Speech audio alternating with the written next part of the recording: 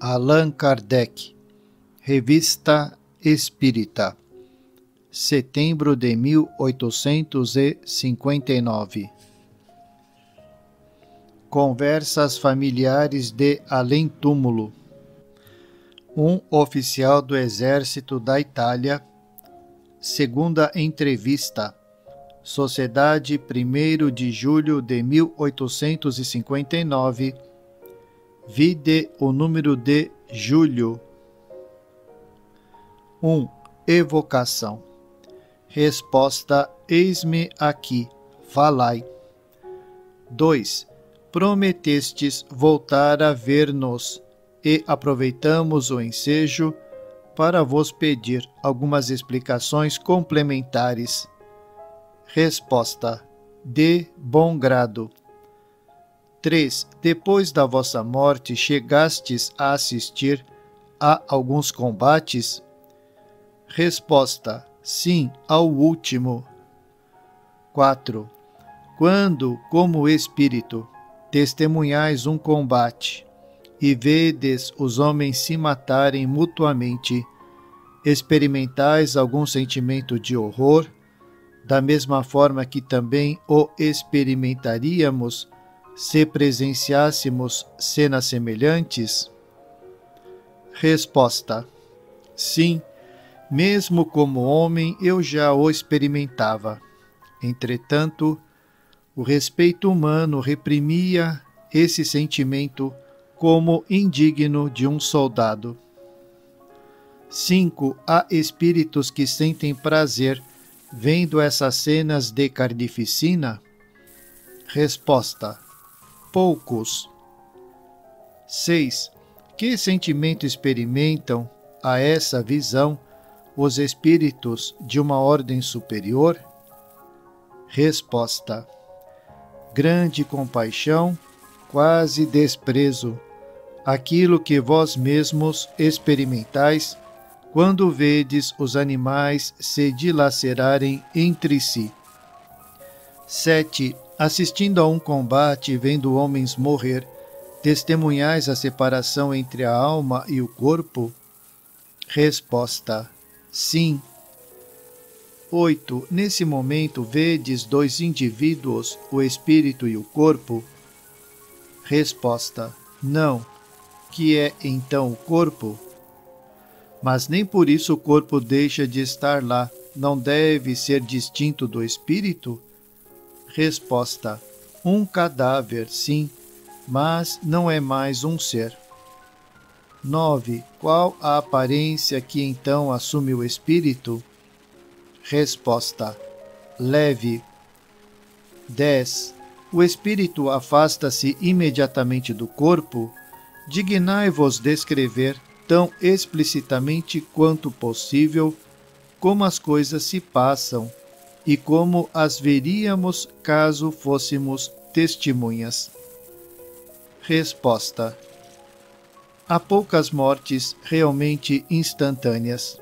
O espírito, cujo corpo foi atingido por uma bala, a maior parte do tempo argumenta consigo mesmo: Vou morrer Pensemos em Deus e no céu. Adeus, terra que eu amava. Depois desse primeiro sentimento, a dor o arranca do corpo e só então podemos distinguir o espírito que se move ao lado do cadáver. Isso parece tão natural que a visão do corpo morto não produz nenhum efeito desagradável tendo sido toda a vida transportada para o espírito, apenas este chama a atenção. É com o espírito que conversamos ou é a ele que damos ordens. Observação: Poderíamos comparar esse efeito ao produzido por um grupo de banhistas. O espectador não presta nenhuma atenção às roupas deixadas à margem. 11. Surpreendido por uma morte violenta, geralmente por algum tempo, o homem não se julga morto. Como se explica a sua situação e como pode ter ele ilusões, já que deve sentir perfeitamente que seu corpo não é mais material e resistente? Resposta: Ele o sabe, não há ilusão. Observação: Isto não é perfeitamente exato. Sabemos que, em certos casos, os espíritos se iludem, julgando não estar mortos. 12. Uma tempestade violenta desabou no fim da Batalha de Solferino. Foi uma circunstância fortuita ou por um desígnio providencial? Resposta: Toda circunstância fortuita resulta da vontade de Deus. 13. Essa tempestade tinha um objetivo, qual seria? Resposta: Sim, por certo, fazer cessar o combate. 14. Foi provocado no interesse de uma das partes beligerantes, qual? Resposta: Sim, sobretudo para os nossos inimigos. Porque isso poderias explicar mais claramente? Resposta: Perguntais-me por quê? Acaso ignorais que, sem essa tempestade, nossa artilharia não teria deixado escapar um só austríaco? 15. Se tal tempestade foi provocada, deve ter tido agentes. Quais eram esses agentes? Resposta: a eletricidade. 16. É o agente material. Mas haverá espíritos que tenham por tarefa conduzir os elementos Resposta: Não. A vontade de Deus é suficiente. Ele não necessita de ajudantes tão elementares. Abre parênteses. Ver mais adiante o artigo sobre as tempestades. Fecha parênteses. O General Roche. Sociedade, 22 de julho de 1859. 1. Evocação. Resposta: Estou convosco. 2. A senhora J. nos disse que vos tinhais comunicado espontaneamente com ela. Com que intenção o fizestes desde que ela não vos havia chamado? Resposta: É ela quem me traz aqui. Eu desejava ser chamado por vós e sabia que, dirigindo-me à sua casa, seríeis informado e provavelmente me evocaríeis. 3. Dissestes a ela que estáveis acompanhando as operações militares da Itália. Isso nos parece natural. Poderíeis dizer-nos o que pensais a respeito? Resposta: Elas produziram grandes resultados no meu tempo combatíamos mais longamente. 4. Assistindo a essa guerra, nela desempenhais algum papel ativo? Resposta: Não, simples espectador. 5. Como vós, outros generais do vosso tempo, lá estiveram convosco? Resposta: Sim, bem o podeis imaginar. 6. Poderíeis designar alguns? Resposta: Seria inútil. 7. Dizem que Napoleão I achava-se presente, no que não temos dificuldade em acreditar. A época das primeiras guerras da Itália, ele era apenas general.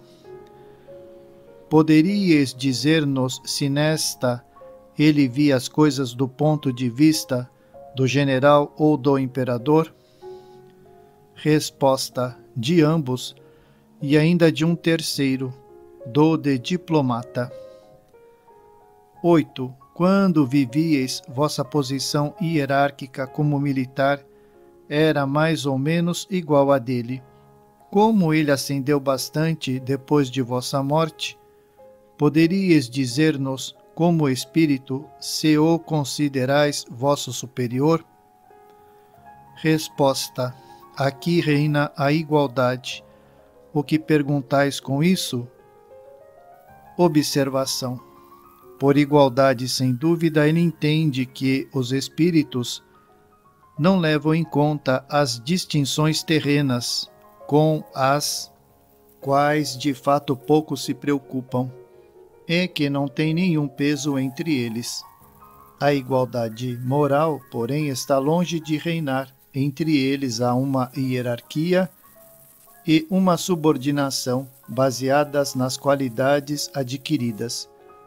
E ninguém pode subtrair-se ao ascendente daqueles que são mais elevados e mais puros. 9.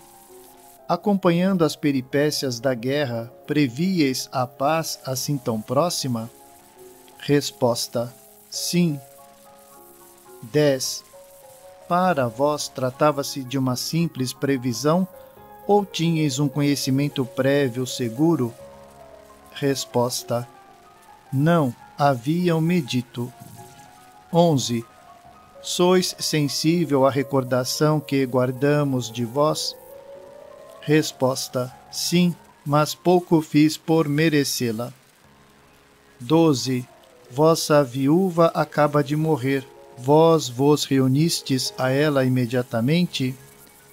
Resposta: Eu a esperava. Hoje vou deixá-la.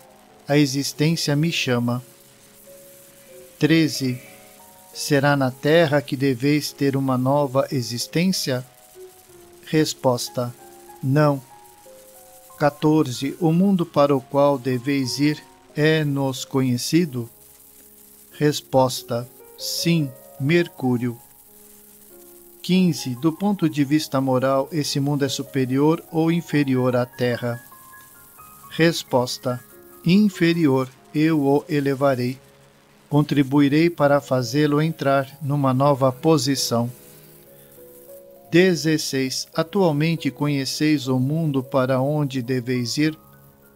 Resposta: Sim, muito bem talvez melhor do que o conhecerei quando o habitar.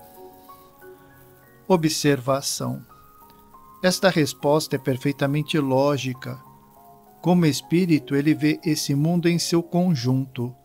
Quando nele estiver encarnado, não o verá senão do ponto de vista restrito da sua personalidade e da posição social que ocupar.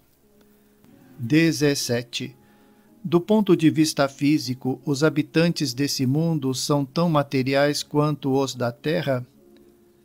Resposta: sim, completamente, mais ainda.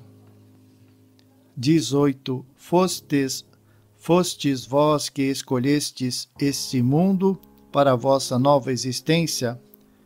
Resposta: Não, não.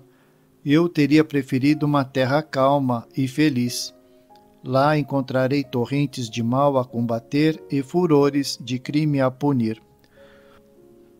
Observação: Quando nossos missionários cristãos vão aos povos bárbaros para tentar fazer que neles penetrem os germes da civilização, não cumprem uma função análoga, porque então nos admirarmos de que um espírito elevado vá ao mundo atrasado, com vistas a fazê-lo avançar?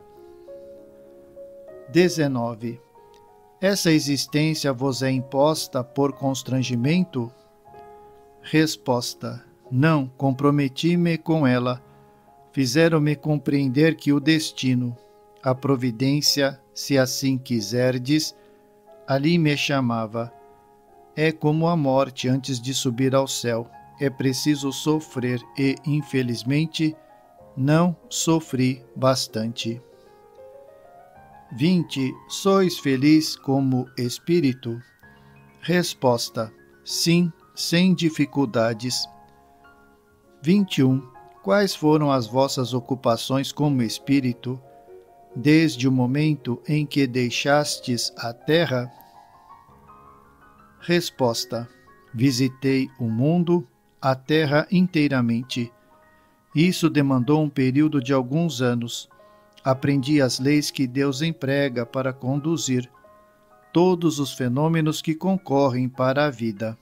Depois fiz o mesmo em várias esferas. 22. Nós vos agradecemos por ter desatendido ao nosso apelo. Resposta: A Deus, não mais me vereis. Morte de um espírita.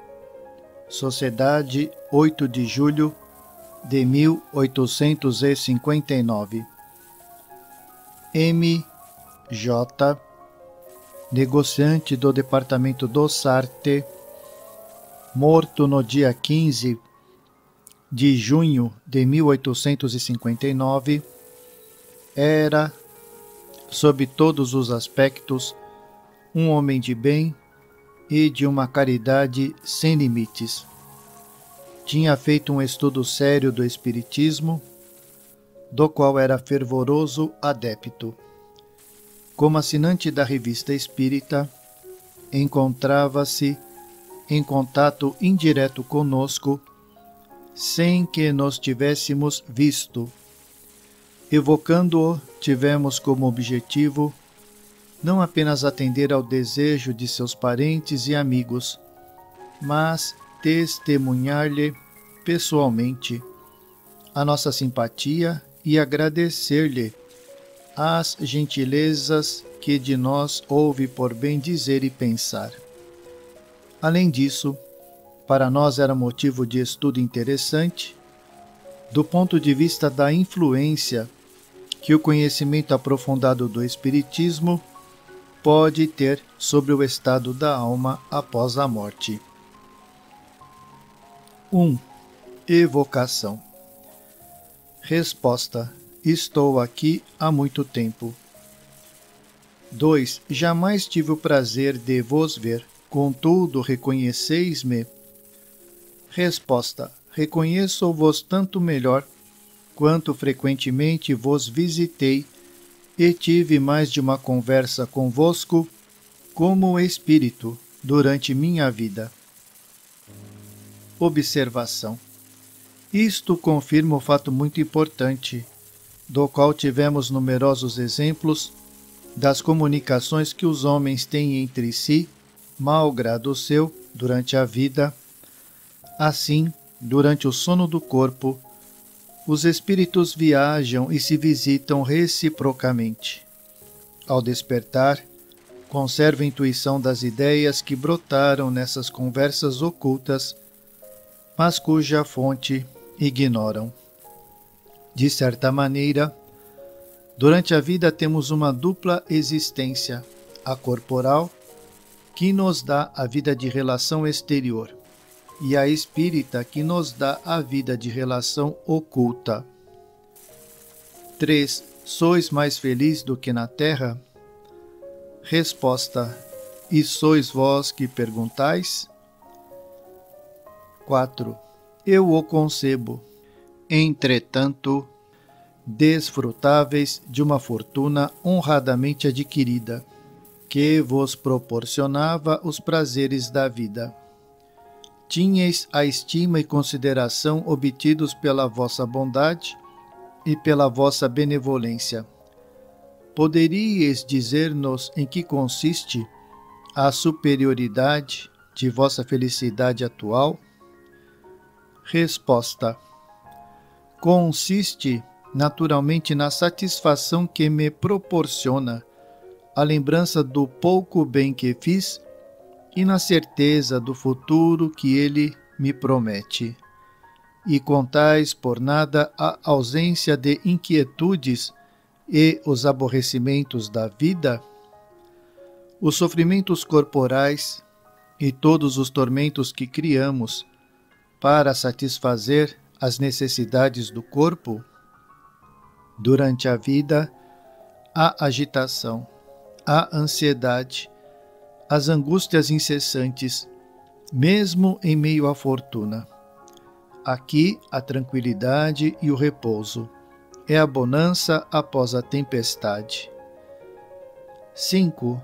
Seis semanas antes de morrer, afirmáveis ter ainda cinco anos de vida. De onde vinha essa ilusão, enquanto tantas pessoas pressentem a morte próxima?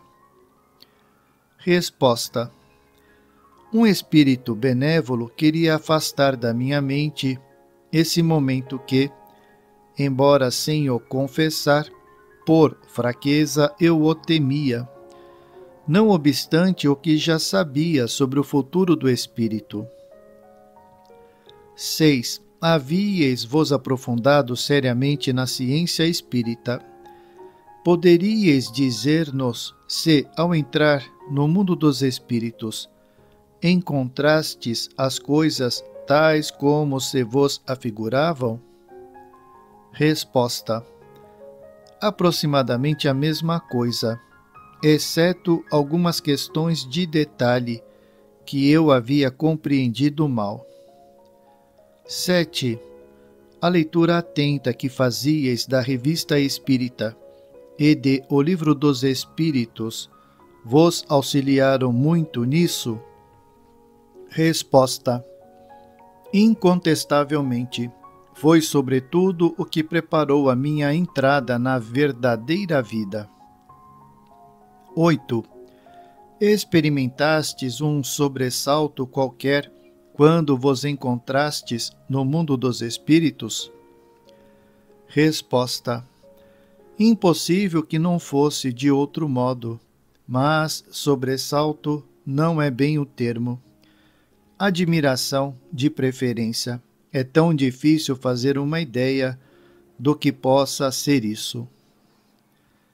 Observação: Aquele que, antes de ir habitar um país, o estudou nos livros, identificou-se com os costumes de seus habitantes, sua configuração, seu aspecto, por meio de desenhos, de plantas e de descrições, sem dúvida fica menos surpreendido do que aquele que não possui nenhuma ideia.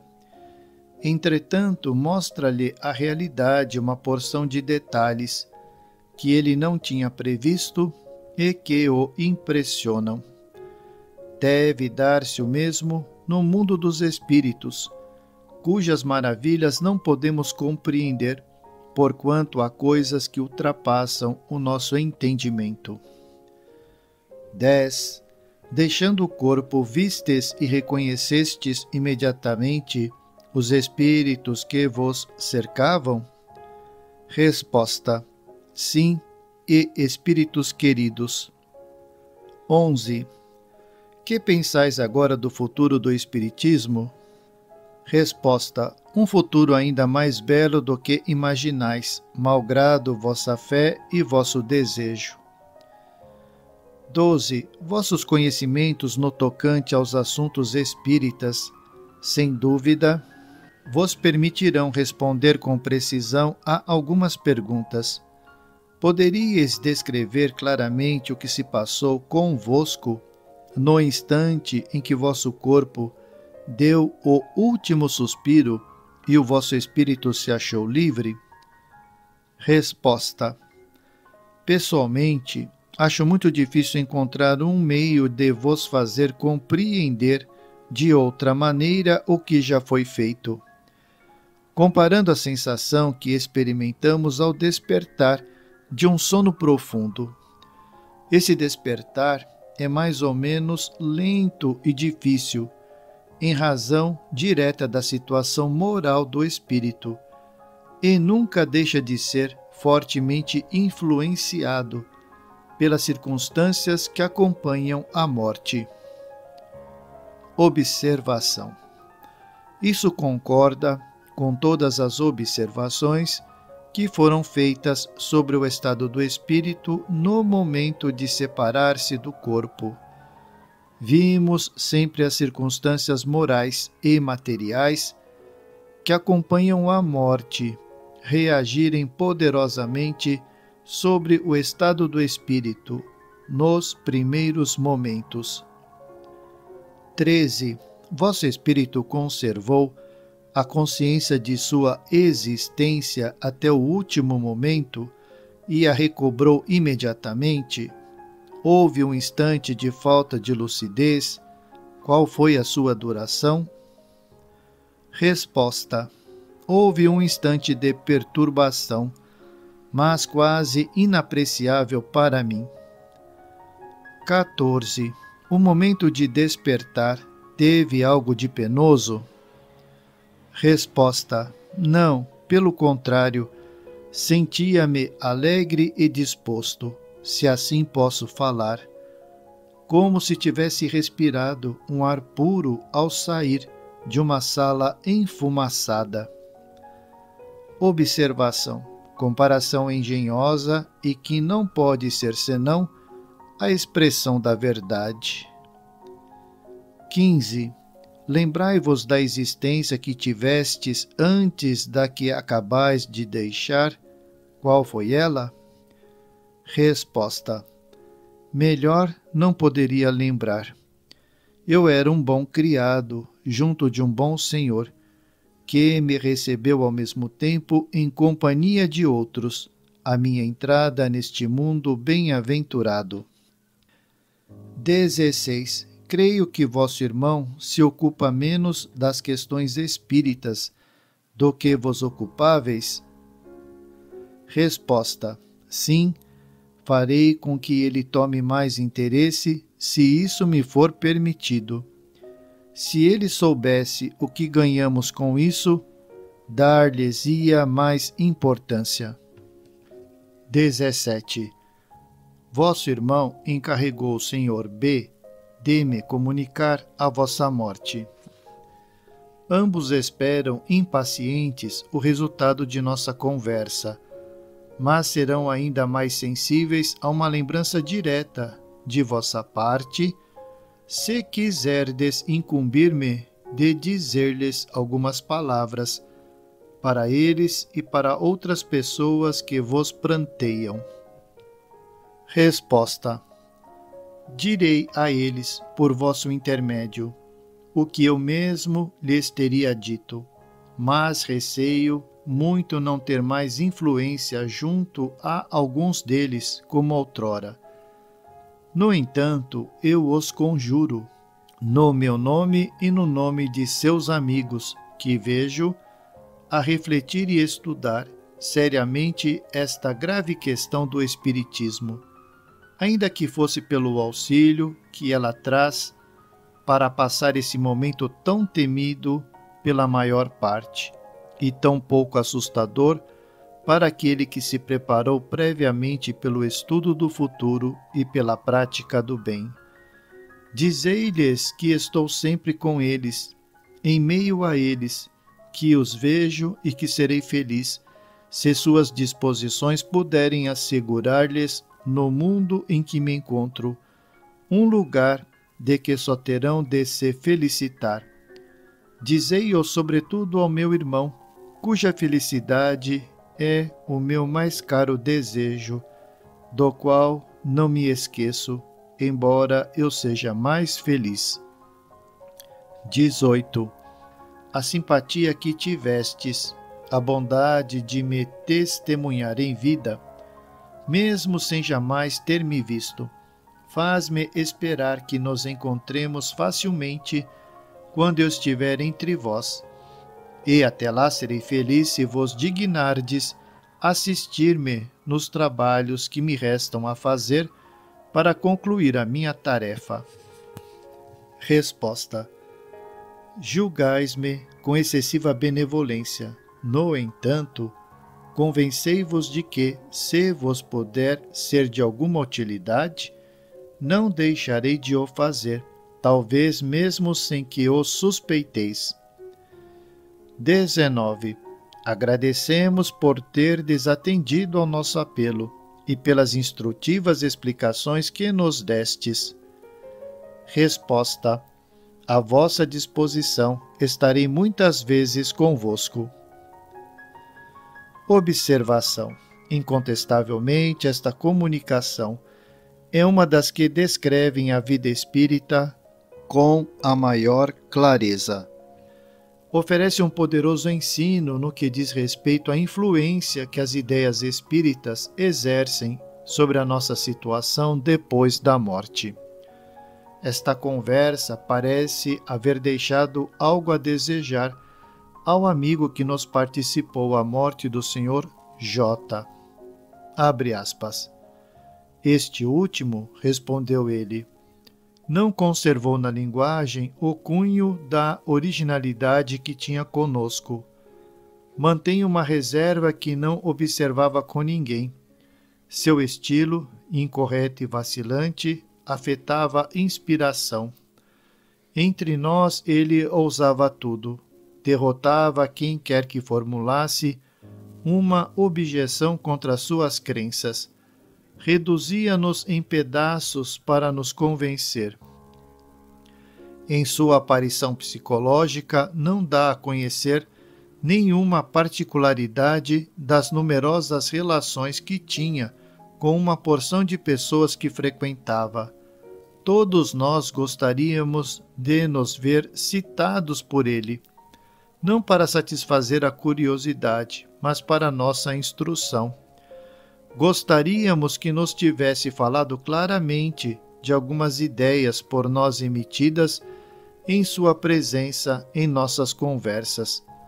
A mim, pessoalmente, poderia ter dito se eu tinha ou não razão de deter-me em tal ou qual consideração, se aquilo que eu lhe havia dito era verdadeiro ou falso. De algum modo, nos falou de sua irmã ainda viva, tão digna de interesse. Fecha aspas. De acordo com esta carta, evocamos novamente o Sr. J, dirigindo-lhe as seguintes perguntas: 20. Tomastes conhecimento da carta que recebi em resposta a que se referia a vossa evocação? Resposta: Sim, vi quando a escreviam. 21. Teríeis a bondade de dar algumas explicações sobre certas passagens dessa carta, e isso, como bem o compreendeis, com o fim instrutivo, unicamente para me fornecer elementos para uma resposta. Resposta: Se o considerais útil, sim. 22 acharam estranho que a vossa linguagem não tenha conservado o cunho da originalidade. Parece que em vida éreis severo na discussão. Resposta: Sim, mas o céu e a terra são muito diferentes e aqui encontrei mestres. Que quereis? Eles me impacientavam com suas objeções extravagantes. Eu lhes mostrava o sol e não o queriam ver como manter o sangue frio, aqui não temos que discutir, todos nós entendemos. 23. Esses senhores admiram-se de que não os tenhais interpelado nominalmente para os refutar, como o fazieis em vida. Resposta: Que se admirem, eu os espero. Quando vierem juntar-se a mim, verão qual de nós estava com a razão. Será necessário que venham para cá, queiram ou não queiram, e uns mais cedo do que imaginam. Sua jactância cairá como a poeira abatida pela chuva. Sua basófia. Aqui o espírito se detém e recusa concluir a frase. 24 eles inferem que não lhes demonstrais todo o interesse que julgavam esperar de vós. Resposta: Desejo-lhes o bem, mas nada posso fazer contra a vontade deles. 25. Surpreendem-se igualmente de que nada tenhais dito sobre vossa irmã. Resposta: Acaso eles estão entre mim e ela? 26. O Senhor B gostaria que tivesseis dito algo do que vos contou na intimidade. Para ele e para os outros, teria sido um meio de esclarecimento. Resposta: De que serviria repetir o que ele já sabe? Pensa que não tem outra coisa a fazer? Não dispõem dos mesmos meios de esclarecimentos que tive? Que os aproveitem. Garanto-lhes que se sentirão bem. Quanto a mim, bendigo o céu por ter enviado a luz que me abriu o caminho da felicidade. 27. Mas é justamente essa luz que eles desejam e que ficariam felizes se a recebessem de vós. Resposta: A luz brilha para todos. Cego é aquele que não quer ver. Cairá no precipício e amaldiçoará a sua cegueira. 28. Vossa linguagem me parece marcada por grande severidade. Resposta: Eles não me acharam brando demais? 29. Nós vos agradecemos por terdes vindo e pelos esclarecimentos que nos destes. Resposta: Sempre à vossa disposição, pois sei que é para o bem. As tempestades, papel dos espíritos nos fenômenos naturais. Abre parênteses, nota do tradutor. Vide o Livro dos Espíritos, parte 2, capítulo 9, questões 536 a 540. Fecha parênteses. Sociedade, 22 de julho de 1859. 1. A. F. R. Arago. Disseram-nos que a tempestade de Solferino tivera um objetivo providencial e nos assinalaram vários fatos desse gênero, especialmente em fevereiro e junho de 1848. Durante os combates, tinham essas tempestades um fim análogo? 2. Interrogado a respeito, disse-nos o Espírito que, em tal circunstância, só Deus agia sem intermediários. Permiti-nos algumas perguntas relativas ao assunto que vos pedimos sejam resolvidas com a vossa clareza habitual. Concebemos perfeitamente que a vontade de Deus seja a causa primeira, nisto como em tudo.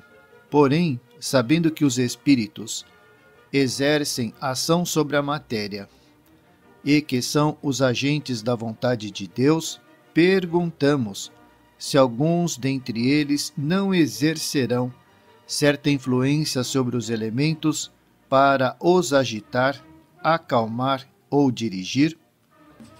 Resposta: Mas, evidentemente, nem poderia ser de outro modo. Deus não exerce ação direta sobre a matéria, ele encontra agentes dedicados em todos os graus da escala dos mundos. O espírito evocado assim se expressou por ter um conhecimento menos perfeito dessas leis, assim como das leis da guerra. Observação: A comunicação do oficial acima referida foi obtida no dia 1 de julho. Esta o foi no dia 22 e por um outro médium, Nada na pergunta indica a qualidade do primeiro espírito evocado, qualidade que lembra espontaneamente o espírito que acaba de responder. Esta circunstância é característica e prova que o pensamento do médium em nada contribuiu para a resposta. É assim que, numa multidão de circunstâncias fortuitas, o espírito tanto revela a sua identidade como a sua independência.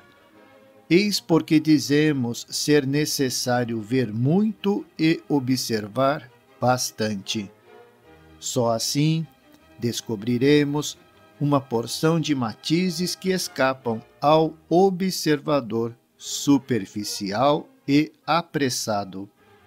Sabe-se que é preciso aproveitar os fatos quando eles se apresentam e não os será provocando que os obteremos. O observador atento e paciente encontra sempre alguma coisa a respigar. 3.